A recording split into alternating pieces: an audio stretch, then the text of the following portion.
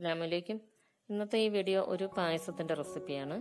അട കൊണ്ടല്ല അരിപ്പൊടി കൊണ്ടാണ് ഇത് തയ്യാറാക്കിയിട്ടുള്ളത്. നമുക്ക് അടയൊന്നും ഇല്ലാത്ത സമയത്ത് നമുക്ക് എപ്പോഴും വീട്ടിലുണ്ടാകുന്ന ഒന്നാണല്ലോ അരിപ്പൊടി. അരിപ്പൊടി കൊണ്ട് നമുക്ക് തയ്യാറാക്കി എടുക്കാവുന്നേ ഉള്ളൂ. ഇതിനുവേണ്ടി ഞാനിവിടെ ഒരു ഒന്നര ഗ്ലാസ് വെള്ളം ഒന്നര കപ്പ് വെള്ളം തിളപ്പിക്കാൻ വെച്ചിട്ടുണ്ട്. അതിലേക്ക് കുറച്ച് ഉപ്പും കൂടെ ചേർത്ത് കൊടുത്തിട്ടുണ്ട്. വെള്ളം തിളച്ച് വരുമ്പോൾ ഒരു കപ്പ് അളവിൽ അരിപ്പൊടി കൂടെ ചേർത്ത് നന്നായിട്ട് ഇളക്കിയെടുക്കാം. അരിപ്പൊടി നല്ല നൈസായിട്ടുള്ള പൊടിയായിരിക്കണം. അതായത് ഇടിയപ്പത്തിന്റെ പൊടിയായിരിക്കണം. ഇത് നന്നായിട്ടൊന്ന് യോജിപ്പിച്ച് ഇളക്കി കൊടുക്കാം. അതിനുശേഷം ഫ്ലെയിം ഓഫ് ചെയ്യാം. ഇനി തണുക്കാൻ വേണ്ടിയിട്ട് ഒരു പാത്രത്തിലേക്ക് മാറ്റാം.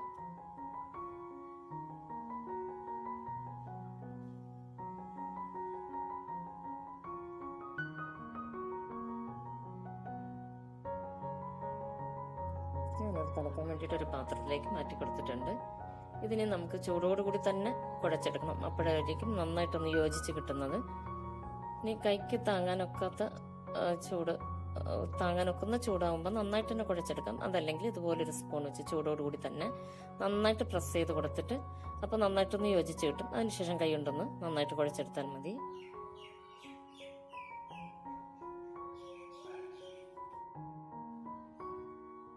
നിങ്ങൾ ഈ ചാനൽ സബ്സ്ക്രൈബ് ചെയ്യാതെയാണ് കാണുന്നതെങ്കിൽ താഴെ കാണുന്ന സബ്സ്ക്രൈബ് ബട്ടൺ ഒന്ന് പ്രസ് ചെയ്യുക. കൂടെ തന്നെ അടുത്തൊരു ബെൽ ബട്ടണും കൂടെ വരും. ആ ബെൽ ബട്ടണും കൂടെ എനേബിൾ ചെയ്ത് അതിൽ മൂന്ന് ഓപ്ഷൻ വരും. അതിൽ ഓൾ എന്ന ഓപ്ഷൻ തന്നെ സെലക്ട് ചെയ്യുക. അപ്പം ഞാൻ ഇവിടെ നന്നായിട്ട് തന്നെ കുഴച്ചെടുത്തിട്ടുണ്ട്.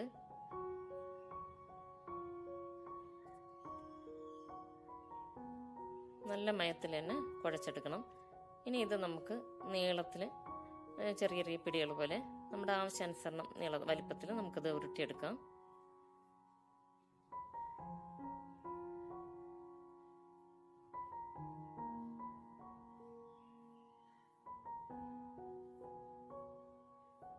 ഞാൻ ഈ ഒരു അളവിലാണ് ചെയ്തിട്ടുള്ളത്. ഇതിനേക്കാൾ ചെറുതായിട്ട് വേണമെങ്കിലും നിങ്ങൾക്ക് പിടിച്ചെടുക്കാവുന്നേ ഉള്ളൂ.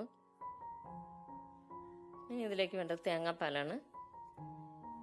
ഞാനിവിടെ ഒരു ഒന്നൊന്നര കപ്പ് തേങ്ങാപ്പാൽ ഒഴിച്ചു കൊടുക്കുന്നുണ്ട്. ഇത് രണ്ടാം പാലാണ്. ഒന്നാം പാൽ മാറ്റി വെച്ചിട്ടുണ്ട്.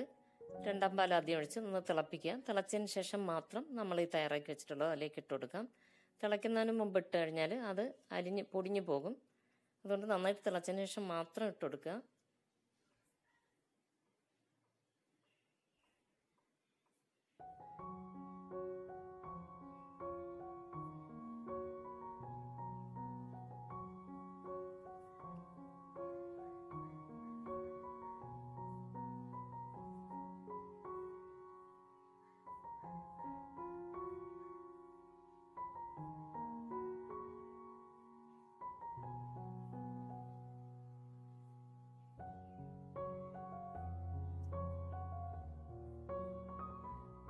പിന്നെ എപ്പോഴും പറയുന്ന പോലെ തന്നെ ഏതൊരു സാധനം നിങ്ങൾ ആദ്യം തയ്യാറാക്കുമ്പോഴും കുറഞ്ഞ അളവിൽ മാത്രം തയ്യാറാക്കി നോക്കുക.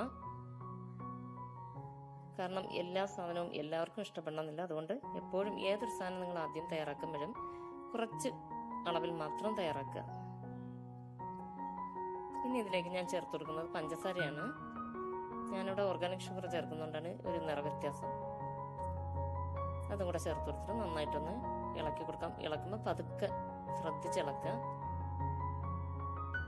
ഇനി ഇതിലേക്ക് ഞാൻ ചേർത്ത് കൊടുക്കുന്നത് വേവിച്ച് വെച്ചിട്ടുള്ള ചവ്വരിയാണ്. ചവ്വരി നേരത്തെ തന്നെ വേവിച്ചിട്ട് വെച്ചിട്ടുണ്ടായിരുന്നു.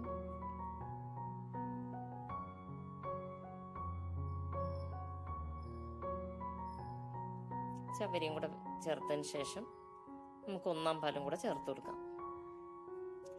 പിന്നെ പഞ്ചസാരയ്ക്ക് പകരം ശർക്കര വേണമെങ്കിൽ നിങ്ങൾക്ക് ചേർക്ക് ചേർത്ത് കൊടുക്കാന്നേ ഉള്ളൂ. ശർക്കര ചേർക്കുമ്പോൾ നന്നായിട്ട് ഉരുക്കിയതിന് ശേഷം അരിച്ചൊഴിച്ചു കൊടുക്കുക.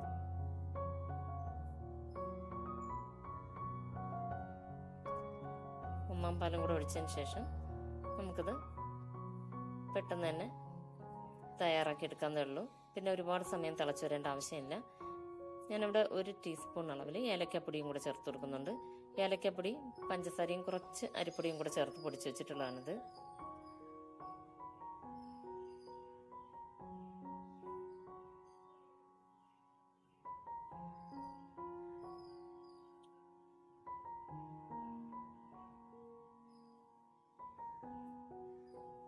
ഇനി ഇതിലേക്ക് അണ്ടിപ്പരിപ്പ് മുന്തിരിയും നെയ്യിൽ മുപ്പിച്ചെടുത്തിട്ടുള്ളതാണ്. അതും കൂടെ ചേർത്ത് കൊടുക്കാം. ഇത്രയേ ഉള്ളൂ. പായസം ഇവിടെ റെഡി ആയിട്ടുണ്ട്. പൊതുവെ പായസം ഇഷ്ടപ്പെടുന്നവർക്ക് ഇതും ഇഷ്ടപ്പെടും.